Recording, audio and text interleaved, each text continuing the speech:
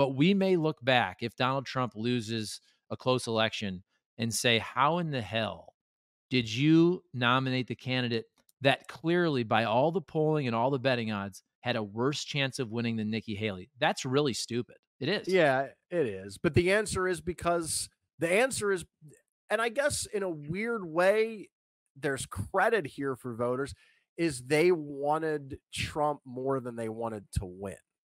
The, the, in other words, winning, yes, is important, but it was more about the cult of this man, eh, right? That is what was important. That was the overriding thing is this is our guy and and so we don't care what the polling says and also i don't think they believed it i don't think they believed the polling i think they felt right. like trump was going to be the person who was going who was going to win and and the the party of haley that was the party of dick cheney that was the party of ronald reagan Th- that's not this republican party and that will be the interesting thing in the months after the election if trump loses is will and to what extent does the Republican Party revert back to what it was before?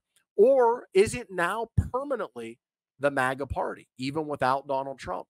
Is it a populist party that's pro tariff and anti immigrant and, and non intervention, non interventionist in foreign policy? Is it, did he change it forever?